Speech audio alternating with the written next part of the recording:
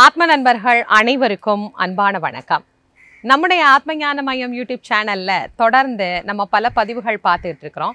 இன்னைக்கு நவராத்திரியினுடைய ஆறாவது நாள் சிறப்பு பதிவு. மகாலட்சுமியை நாம் வழிபடக்கூடிய நிறைவு நாளாகிய இன்றைய தினத்துல மகாலட்சுமியை எவ்வாறு வழிபாடு பண்ணணும்? இன்றைக்கு அம்பிகையினுடைய சிறப்பு என்ன? நவதுர்க்கையில் அம்பாள் எவ்வாறு இன்று அருள் புரிகிறாள் அப்படிங்கிறத பற்றிலாம் இன்றைக்கு இந்த பதிவில் பார்க்கலாம் வாங்க.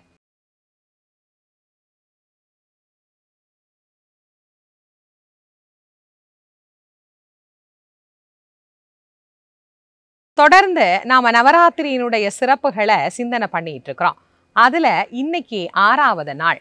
நாம கலசம் வழியாகவும் அகண்ட தீபத்தினுடைய வழியாகவும் அல்லது கொலு வைத்தும் நாம் இந்த நவராத்திரி பெருவிழாவை கொண்டாடிட்டு இருக்கிறோம் ஆறாவது நாளாகிய இன்றைய தினம் அம்பிகைக்கு சண்டிகா அப்படிங்கிற திருநாமம் உண்டு. ஆனா நவதுர்க்கையில இன்னைக்கு நாம அம்பாளை வழிபடக்கூடிய திருநாமம் என்ன அப்படின்னு பார்த்தீங்கன்னா காத்தியாயனி அப்படிங்கிற திருநாமத்துல வழிபாடு பண்றோம். இந்த திருநாமம் கிராமத்துல இருக்கிறவங்களுக்கு கூட தெரியும். கார்த்தியாயனி அப்படின்னு நம்ம ஊர்லயே குழந்தைங்களுக்கு நிறைய பேர் வைக்கக்கூடிய முறை அப்படிங்கிறது உண்டு. அந்த அழகான காத்தியாயனி அப்படின்னா என்ன அர்த்தம்? ஏன் அம்பாளுக்கு இந்த பெயர் வந்தது? காத்தியாயன முனிவர் தவம் செய்து அம்பிகையே தனக்கு ஒரு குழந்தையாக வர வேண்டும் என்று பெற்றுக்கொண்டார். அதனால் காத்தியாய முனிவருக்கு மகளாக வந்ததனால அம்பிகையினுடைய பெயர் என்னவாக அமைந்தது? காத்தியாயனி என்கின்ற திருநாமமாக அமைந்தது. அப்படி காத்தியாயனியாக விளங்குகின்ற இந்த அற்புதமான அம்பிகை வேண்டும் வரங்களை தருகின்ற தேவியாகவே நமக்கு காட்சி தருகின்றார். இந்த அம்பிகைக்கு ஒரு தனிப்பெரும் சிறப்பே உண்டு. மகிஷாசூரனை வதம் செய்ய அம்பாள் எடுத்த ரூபத்துல இந்த சண்டிகா என்கின்ற ரூபமே மகிஷாசுர மர்தினியாக வந்தது. அவளே காத்தியாயனியாக இன்றைக்கு நமக்கு காட்சி தருகின்றாள். இந்த அம்பிகையை வழிபாடு செய்கின்ற போது நமக்கு என்ன பலன் கிடைக்கிறது அப்படின்னா தீமை புரிகின்ற தீயவர்களை எல்லாம் அழிக்கும் தேவியாக இந்த தேவியே நமக்கு காட்சி தருகின்றார். இந்த அம்பிகை பாவச்செயல் செய்பவர்களை அழித்து தீய சக்திகளையும் அழித்து பக்தர்களை வாஞ்சையோடு காக்கின்ற தேவியாக விளங்குகின்றாள் அதனால தான் இந்த சண்டிகா என்கின்ற திருநாமத்திலேயும் காத்தியாயினி என்கின்ற நாமத்திலேயும் நாம வழிபாடு பண்ணினா நம்முடைய நன்மைகள் அப்படிங்கிறது மேலோங்கக்கூடிய தன்மையை இந்த அம்பாள் அருளுகின்றாள். இந்த அம்பிகையை நாம என்ன மலர்கள் என்ன கோலம் போடணும் எவ்வாறு நாம வழிபாடு பண்ணணும் அப்படிங்கிறத பத்தி எல்லாம் பார்ப்போம் இந்த அம்பிகைக்குரிய தியான மந்திரத்தை நான் கீழே டிஸ்கிரிப்ஷன் பாக்ஸ்ல உங்களுக்கு கொடுத்துருக்கேன். அதுல போய் பார்த்து தெரிஞ்சுக்கலாம். ஆறாம் நாளாகிய இன்றைய தினம் அம்பிகைக்கு சண்டிகா தேவி அப்படின்னு பேரு. நவதுர்கையில் இன்றைக்கு அம்பிகையை காத்தியாயனி அப்படிங்கிற திருநாமத்தில் நாம் வழிபாடு பண்ணுறோம் தேவியினுடைய நாமத்தினால் ஆன கோலத்தை இன்னைக்கு நாம் கடலை மாவு கொண்டு இடணும். இன்றைக்கு மலர்கள்னு பார்த்தீங்கன்னா செம்பருத்தி பூ இலையில் சந்தன இலை கிடைச்சா இன்றைக்கு சிறப்பானது.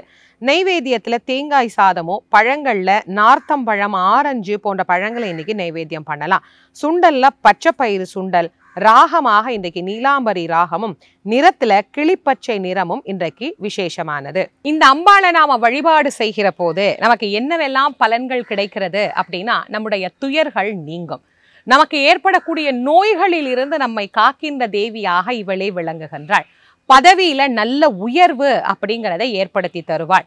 வேலை வெளிநாடு சம்பந்தமான வேலை வாய்ப்புகள் இது அனைத்தையும் நமக்கு பெற்று தருவாள். அதோட நமக்கு வழக்குகள் இருக்கு அப்படின்னா அந்த வழக்குகளிலேயும் வெற்றியை பெற்று தரக்கூடிய தேவியாகவும் இந்த தேவியே நமக்கு அருள் புரிகின்றாள். பல ஜென்மங்களாக பாவங்கள் நம்மளை தொடர்ந்து வந்துகிட்டே இருக்கு. அதையெல்லாம் நாம உண்மையா உணர்ந்து அதிலிருந்து நாம வெளிவரணும் அப்படின்னு இந்த அம்பாளை உருகி பிரார்த்தனை பண்ணினோம்னா நிச்சயமாக அந்த ஜென்மாந்திர பாவங்களில் இருந்து நம்மை காக்கின்ற தேவியாகவும் இந்த அம்பிகை நமக்கு காட்சி தருகின்றாள். இந்த தேவியை நாம வழிபடுகிற போது யோக நிலையில ஆக்ஞா சக்கரத்துக்கு உண்டான நலன்களை அருளும் தேவியாக இந்த தேவியே நமக்கு காட்சி தருகிறாள்.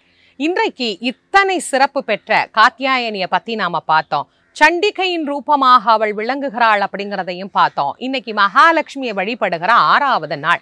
அநேகமான பேர் மகாலட்சுமி அப்படின்னாலே செல்வத்தை மட்டுமே தருபவள் அப்படின்னு நினைச்சிட்டு இருக்கிறோம். பல ஆண்டுகளாக அடியன் என்னுடைய உரைகளில் மகாலட்சுமி வெறும் செல்வத்தை மட்டும் தருபவள் அல்ல. பல்வேறு விதமான நலன்களையும் அருளும். அஷ்டலக்ஷ்மியின் ஸ்வரூபம் தான் அவள் அப்படிங்கிறத பற்றி உங்களுக்கு திரும்ப திரும்ப நான் சொல்லிட்டு இருக்கிறேன்.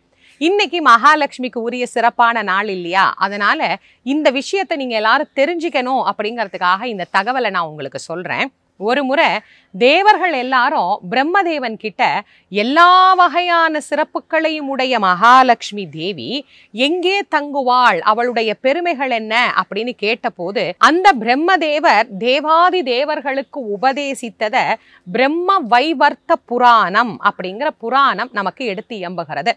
இந்த புராணத்துல பிரம்மதேவர் தேவர்களை பார்த்து சொல்றாரு மகாலட்சுமி அப்படிங்கிற தேவி எங்கெல்லாம் வாசம் செய்வாள் அப்படின்னா எங்கே தர்ம சிந்தனை இருக்கோ எங்கே ஒழுக்கம் நிறைந்திருக்கிறதோ எங்கே ஒரு உயிர் மீது இரக்கம் கொண்டு ஒருவர் வாழுகிறாரோ நீதி நேர்மை நியாயத்தை யார் ஒருவர் கடைபிடித்து நடக்கின்றாரோ யாரிடத்தில் பணிவும் அடக்கமும் நிறைந்திருக்கின்றதோ அவர்களிடத்திலெல்லாம் இந்த மகாலட்சுமி நிறைந்திருப்பாள் அப்படின்னு மங்கையர்கரசி சொல்லலை பிரம்மதேவர் மிக அழகாக நமக்கு சொல்லுகின்றார். மகாலட்சுமி ஒரு இடத்துல இருக்கணும் மகாலட்சுமி அருள் புரியணும்னா முதல்ல அங்கே என்ன இருக்கணும்? பணிவு இருக்கணும் அடக்கம் இருக்கணும் தர்மம் இருக்கணும். நம்மள பெரியவங்க சொல்லுவாங்க இல்லையா? தர்மத்தோட வாழுப்பா அதர்ம வழிக்கு போகாத அப்படின்னு சொல்லுவாங்கல்ல. அந்த தர்ம சிந்தனை இருந்தால் அங்கே மகாலட்சுமி கண்டிப்பாக நிறைந்திருப்பாள். இப்படி பிரம்மதேவர் உபதேசித்ததை நாமும் கொஞ்சம் ஞாபகத்துல வச்சுக்கணும். பிரம்மதேவர் மட்டும் இல்லைங்க.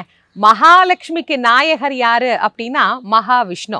அந்த மகாவிஷ்ணுவே சொல்றாரு மகாலட்சுமி எங்கு வாசம் செய்வாள்? அப்படின்னு. என்னுடைய ஹிருதய கமலத்தில் வாசம் செய்யக்கூடிய அதே மகாலட்சுமி யார் ஒருவர் தரும சிந்தனையோடு ஒழுக்கமான வாழ்வை வாழ்கின்றார்களோ அவர்களினுடைய மனதிலேயும் இந்த மகாலட்சுமி வாசம் செய்வாள் அப்படிங்கிறத மகாவிஷ்ணுவே நமக்கு சொல்லியிருக்கிறாரு. இந்த பிரம்மதேவர் சொன்ன புராணத்துல இன்னொரு விஷயத்தையும் அவர் தெளிவுபடுத்தி இருக்கிறாரு வெறும் செல்வத்தை கொடு செல்வத்தை கொடு செல்வத்தை கொடுன்னு மகாலட்சுமி கிட்ட ஒருத்தர் கேட்டா அவர்களை மகாலட்சுமி கண்டுக்க கூட மாட்டாளாமா? திரும்பியும் பார்க்க மாட்டாளாம். அவங்க இந்த நெறிகளை கடைபிடிப்பவர்களாக இருந்தால் அவர்கள் கேட்காமலேயே அவள் அந்த இடத்தில் செல்வங்களை வாரி வாரி வழங்குவாள் அப்படின்னு சொல்றார். ஆக மகாலட்சுமியை நாம வழிபாடு பண்ணும்போது வெறும் செல்வ நலனை மட்டும் கொடு அப்படின்னு கேட்காம இந்த நல்ல சிந்தனைகளோடு நம்ம வாழ்ந்தா நிச்சயமா மகாலட்சுமியினுடைய அருள் நமக்கு கிடைக்கும். இப்ப நிறைய பேர் நீங்க உடனே கமெண்ட்ஸ்ல எழுதுவீங்க இந்த காலத்துக்கு இதெல்லாம் பொருந்துமாமா? இப்பெல்லாம் நல்லவங்க கையிலயா காசு தங்குது. கெட்டவங்க கையில் நிறைய காசு புழங்குதே. நாங்கள் கஷ்டப்படுறோம். நாங்கள் ரொம்ப வேர்வை சிந்தி சம்பாதிக்கிறோம். ஆனால் எங்கள் கிட்ட பணமே வரமாட்டேங்குதேம்மா அப்படின்னு நீங்கள் கமெண்ட்ஸில் போடுறதுக்கு முன்னாடியே நான் அதுக்கும் உங்களுக்கு பதில் சொல்லிடுறேன். நீங்கள் உங்களுடைய தர்ம நெறியை கடைபிடித்து ஒழுக்கமாக நீங்கள் வாழுங்கள். உழைத்து வாழுங்கள். அதற்கு உண்டான மதிப்பு இன்னைக்கு இல்லைனாலும் என்னைக்காவது ஒரு நாள் நிரந்தரமாக கிடைக்கும். நிச்சயமா நிரந்தர செல்வத்தோடு நீங்கள் வாழலாம். இந்த இப்ப பணம் வந்தது அப்ப பணம் வந்தது இந்த பணம் அவர்களுக்கு நிலைத்திருக்குமா? அல்லது இந்த பணத்தில் அவர்கள் மகிழ்ச்சியாக வாழ்கிறார்களா? அப்படின்னா நியாயமற்ற முறையில் ஒழுக்கமற்ற முறையில் சேருகிற பணம் மன அமைதியை ஒரு நாளும் தராது. அதை நாம தெளிவா மனசுல பதிய வச்சுக்கணும். அதனால நம்முடைய எண்ணங்களை உயர்வாக்கி கொள்ளணும். அவங்க அப்படி இருக்கிறாங்களே இவங்க எப்படி இருக்கிறாங்களே நம்ம எப்படி இருக்கிறோமே அப்படிங்கிறத விட்டுட்டு நாம் உயர்வதற்கு என்ன வழி அப்படிங்கிற உண்மையையும் நேர்மையான வாழ்வையும் ஒழுக்கத்தையும் தர்ம சிந்தனையும் கடைபிடிச்சா கண்டிப்பா மகாலட்சுமி நம்மிடத்தில் நிரந்தரமாக தங்குவாள். இன்னைக்கு நாம மகாலட்சுமியை வழிபடக்கூடிய நிறைவு நாளாக ஆறாவது நாளை பத்தின சிறப்புகளை பார்த்தோம். நாளைய தினம் அடுத்த பதிவில் நாம் சரஸ்வதி தேவியை எவ்வாறு வழிபாடு பண்ணணுங்கிறதையும் பார்க்க இருக்கிறோம். தொடர்ந்து வருகிற இந்த பதிவுகளை எல்லாம் உங்களுடைய நண்பர்கள் உற்றார் உறவினர்களோட பகிர்ந்து கொள்ளுங்க. நம்முடைய ஆத்ம ஞானமயம் யூடியூப் சேனலை இது வரைக்கும் நீங்க சப்ஸ்கிரைப் பண்ணலைன்னா பண்ணிக்கோங்க. மீண்டும் மற்றும் ஒரு சிறப்பான பதிவில் உங்கள் அனைவரையும் சந்திக்கும் வரை உங்கள் அனைவருக்கும் நன்றியும் வணக்கமும் கூறி விடைபெறுவது திருமுருக வள்ளல் வாரியார் சுவாமிகளின் மாணவி தேசமங்கேற்கரசி. நன்றி வணக்கம்.